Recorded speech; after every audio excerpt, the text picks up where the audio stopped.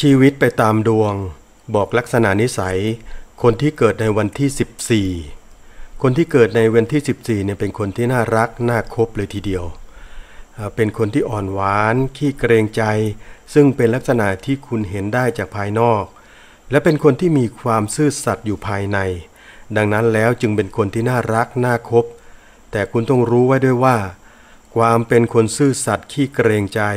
แล้วก็ช่างเอาอกเอาใจนี้ มีอยู่เฉพาะเมื่อคุณปล่อยให้คนที่เกิดในวันที่ 14เนี่ยมีความสุขตามแบบที่เขาต้องการเท่านั้น ถ้ามีใครมาสั่งให้ทำอย่างนู้นอย่างนี้อย่างนั้น คนเกิดวันที่ 14เนี่ยจะหงุดหงิดง่าย พรุ่งพร่านขึ้นมาทันที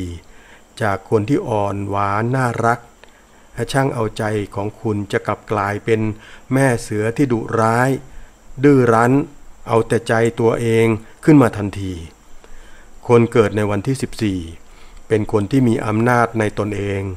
มีพลังใจสูง สามารถจูงใจตนเองให้ทำทุกอย่างจนสำเร็จได้ดังประสงค์ มีอำนาจลึกลับที่จะจูงใจให้ผู้อื่น ให้ทำตามที่ตนเนี่ยต้องการ และมักได้รับอำนาจที่คนอื่นรับรู้ได้ คนเกิดวันที่ 14 มีอำนาจ จึงมักเอาแต่ใจตัวเองหรือชอบเผด็จการ แต่จุดอ่อนอันเกิดจากความมีอำนาจเนี้ยและก็ชอบใช้อำนาจก็จะถูกลดลงไป โดยนิสัยที่เป็นคนมองโลกในแง่ดี ใจกว้างมีเหตุผล ยอมรับความเป็นจริง ที่เกิดขึ้นทั้งทางด้านดีและด้านร้าย เป็นคนเข้าใจความเป็นไปรอบกายได้ง่าย และยอมรับความเป็นไปได้ในเรื่องต่างๆ เป็นอย่างดี ซึ่งคุณลักษณะเช่นนี้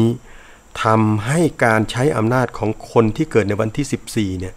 เป็นไปอย่างมีเหตุมีผลและก็นุ่มนวลขึ้น คุณทำให้คนวันที่ 14 รักคุณได้ง่าย ๆ ด้วยการสนับสนุนความสุขของคนที่เกิดในวันนี้ตามแบบที่เขาชอบและต้องการ เปิดโอกาสให้ แสดงออกหรือให้ทำในสิ่งที่เขาต้องการ ถ้าเขาชอบเล่นเทนนิสก็หาทางส่งเขาแข่งขัน ชิงถ้วยไปเลย หรือว่าถ้าเขาชอบเล่นดนตรี ก็หาโน้ตเพลง หาเครื่องเล่นดนตรีมาให้